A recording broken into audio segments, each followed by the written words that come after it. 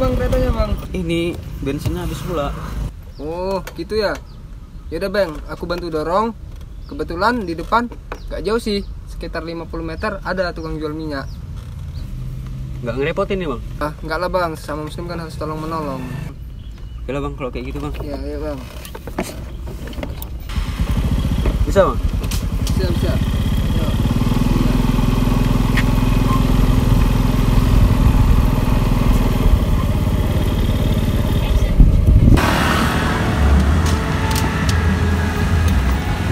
Nah, itulah tempatnya bang. Jauh kan bang? Oh iya. Maaf ya bang, jadi ngerepotin. Oh, enggak lah, tadi juga kan kita salah. Oh iya, kita dari tadi belum kenalan. Apa ya bang? Kenalkan nama aku Wildan. Oh iya, aku ada bang. Ya. Waalaikumsalam.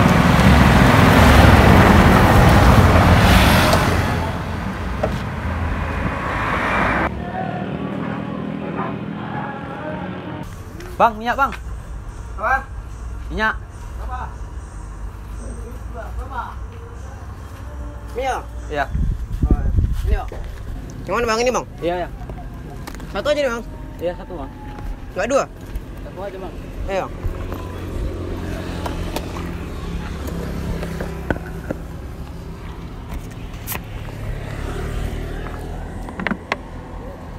Dari mana kita bang? Keluar tadi bang bentar. Oh, yang tadi itu kan bang? Iya. Oh, iya ya. Mau ke mana nih siapa nih? Mau pulang lah bang ke kos. Oh ya. Oke, Berapa bang? 10 aja bang. Iya. Gak mahal-mahal.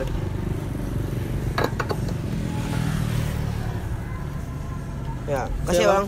Hati-hati ya bang. Iya. Bang,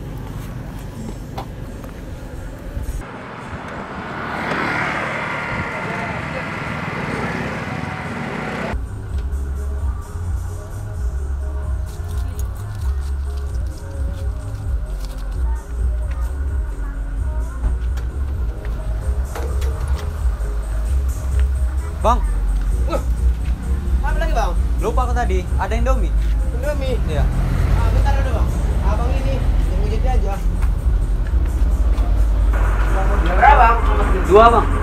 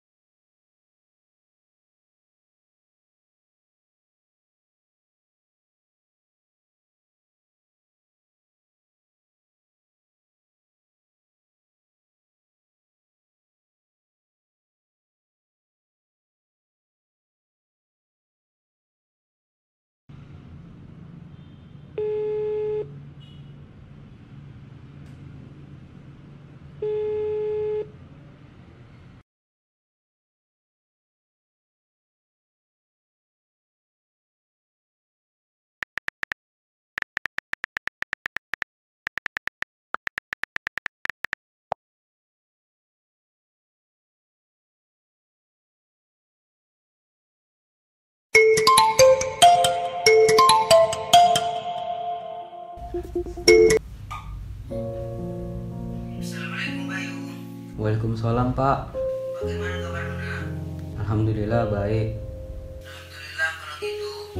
Bapak cuma mau bilang, bulan ini Bapak belum bisa ngirim.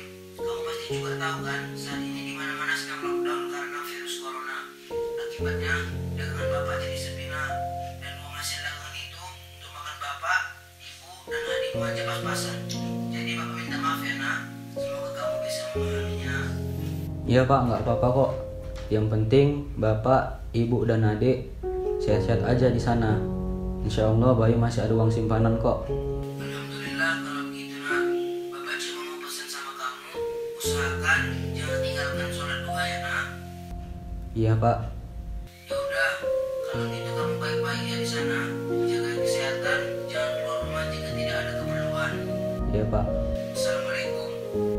Waalaikumsalam.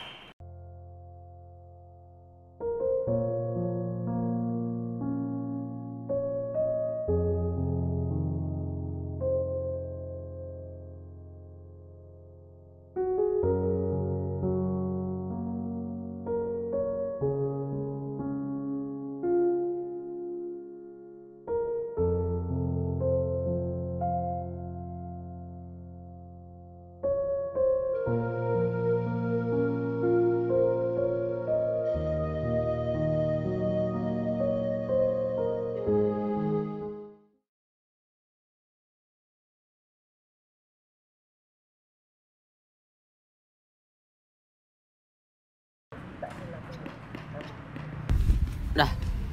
Assalamualaikum Bang. Waalaikumsalam. Boleh saya duduk sini? Oh, boleh Bang, silakan. Perkenalkan Bang, Oh iya, Bang. nama saya Bayu. Oh iya, panggil saya aja Bang Ojol. Oh iya. Di tengah wabah seperti ini Abang kok masih kerja? Apa Abang nggak takut sama kondisi yang kayak gini? Kalau bicara soal takut, saya lebih takut jika istri dan anak saya tidak makan. Di tengah situasi yang seperti ini, apa ada orang yang naik ojek online, Bang? Ditambah lagi kan pemerintah udah nyuruh kita untuk lockdown, nggak keluar rumah jika nggak ada kepentingan. Ya, mau gimana lagi?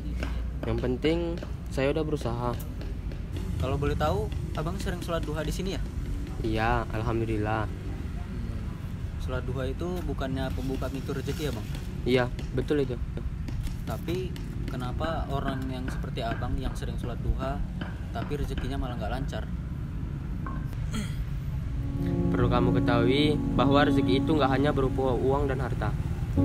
Tapi rezeki itu bisa berupa kesehatan, ketenangan hati, dan ilmu yang bermanfaat. Bahkan sahabat sekali baik sekalipun merupakan rezeki yang Allah berikan kepada kita. Mungkin Allah nggak ngasih kita harta yang melimpah, akan tetapi Allah menggantikan semua itu dengan orang-orang yang baik yang ada di sekeliling kita. Orang yang mampu menghadirkan kebahagiaan lebih dari harta. Di balik semua rezeki yang Allah berikan, ada suatu rezeki terbesar yang Allah anugerahkan kepada kita, yaitu iman kepada Allah Subhanahu wa taala.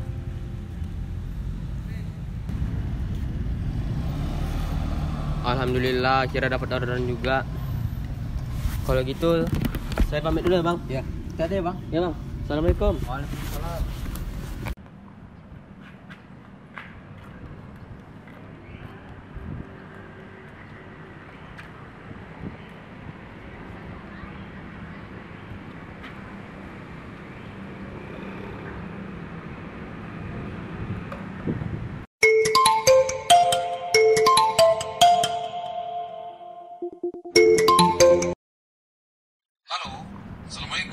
Waalaikumsalam. Bayu, nanti sore jangan lupa ngajar ngaji di rumah Bapak ya.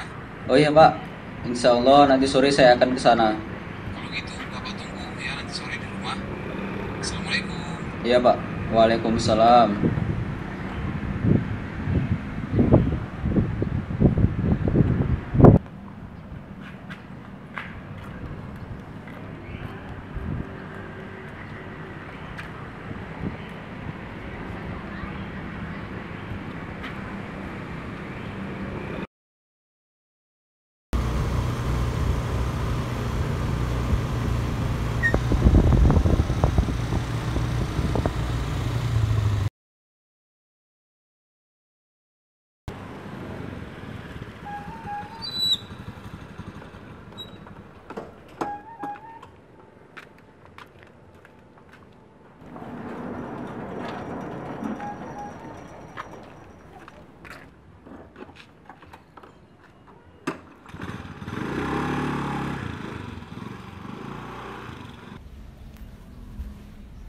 Assalamualaikum. Waalaikumsalam. Ustadz datang. Salam dulu Ustadznya. Masuk, masuk Ustadz.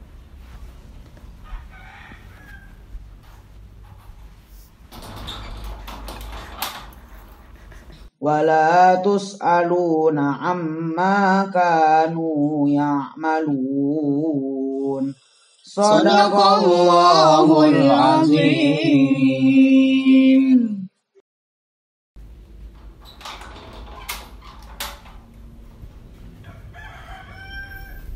Oke kalau gitu Ustaz pulang dulu ya. Ustadz, Ustadz.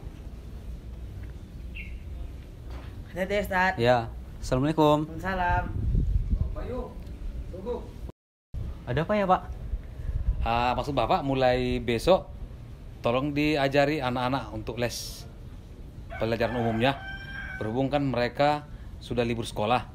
Karena sekarang kan ada musim pandemik ini, jadi mereka tidak ke sekolah. Jadi takutnya nanti anak-anak Bapak pada lupa pelajarannya. Ya sekedar-sekedar saja. Mohon diajari. Iya Pak. Nanti Insya Allah akan saya ajari. Oh iya. Jadi ini ada sedikit rezeki. Oh, apa ini Mohon- Pak? mohon Tapi kan diterima. belum tanggalnya Pak. Ya nggak apa-apa. Kebetulan ada sedikit rezeki. Salahnya kita berbagi. Begitu. Mohon digunakan lah. Makasih ya Pak. Oke. Kalau gitu saya pamit dulu ya Pak. Sama-sama. Assalamualaikum. Waalaikumsalam warahmatullahi wabarakatuh.